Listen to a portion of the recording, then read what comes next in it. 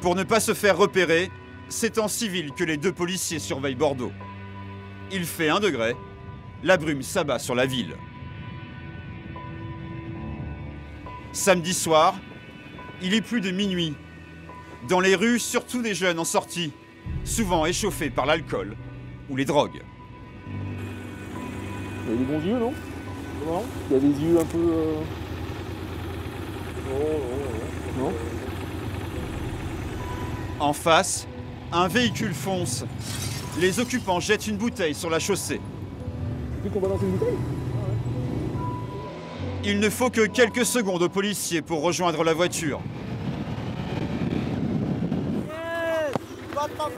À son bord, quatre jeunes. C'est la police Vous allez vous mettre à droite Mettez-vous à droite, s'il vous plaît, immédiatement.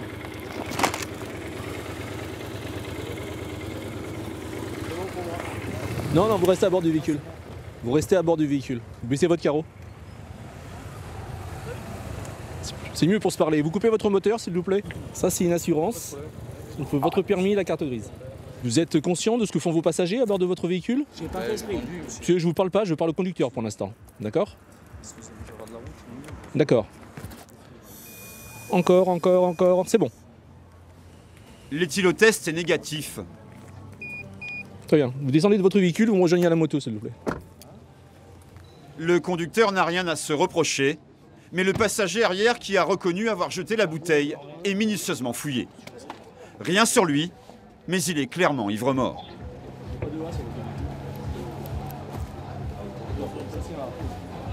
Bah, c'est à cause de la bouteille. La bouteille, c'est que c'est moi, j'ai pas fait esprit. Elle m'a pas Elle vous a échappé D'accord. Ben, L'amende, vous allez recevoir à votre domicile pour le non-port de la ceinture de sécurité. C'est une contravention de 90 euros. Vous inquiétez pas, je vais. Ah, m'inquiète juste pour les parents qui risquent de ne pas voir leur enfant rentrer vivant ce soir, c'est tout. Euh, capuche, Voilà. euh, euh, Très bien. Sauf que la bouteille de bière, il vous échappe hein, en roulant, Excusez-moi. si quelqu'un arrive en face, hein, si quelqu'un arrive en face, J'ai lâché, j'ai dit. donc euh, je vais considérer que c'est un, un accident. Vous prenez connaissance du motif de la verbalisation pour le non-port de la ceinture de sécurité par le passager d'un véhicule à moteur. On vous a posé votre signature, C'est combien l'amende 90 euros. Des incivilités comme celle-ci, c'est le quotidien de Stéphane et Frédéric. C'est un... le mec qui est parti à pied.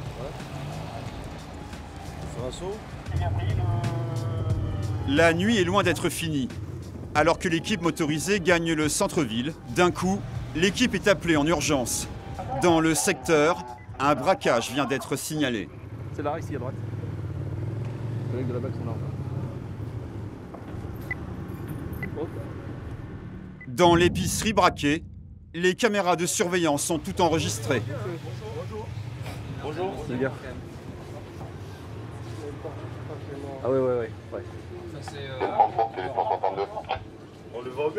Léonard, Il a parlé en rame, ça Basket blanche. euh, Non, c'est c'est des, c'est des pompes marron qu'il a, hein, c'est ça. hein. Ouais, c'est bon, on a bien vu sa tronche. On va, on va- on va continuer à patrouiller autour. On a fait le train déjà. Armé d'un pistolet, l'homme s'est fait remettre la totalité de la caisse, 500 euros, puis se serait enfui à pied. Stéphane et Frédéric partent à sa recherche. Il a un beau calibre, hein. Chaque recoin du quartier est fouillé. La police. La recherche durera une demi-heure, mais l'homme est manifestement parvenu à s'échapper.